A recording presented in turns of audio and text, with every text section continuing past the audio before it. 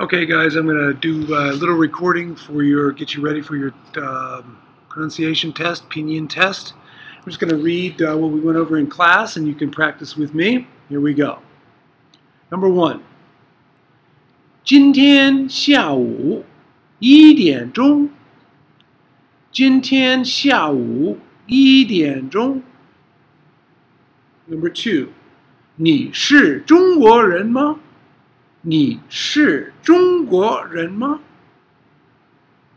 ？Number three，现在几点钟？现在几点钟？Number four，我有一个好朋友。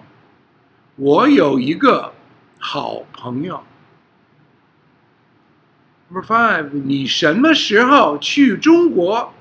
你什么时候去中国？Number six，我没有时间，我没有时间。Number seven，你叫什么名字？你叫什么名字？Number eight，你喜欢美国吗？你喜欢美国吗